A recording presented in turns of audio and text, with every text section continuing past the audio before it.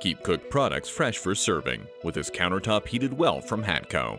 The simple controls feature a lighted on-off rocker switch and an adjustable temperature dial. The unit can function in dry or wet applications, while the dry indicator lamp alerts users to add water.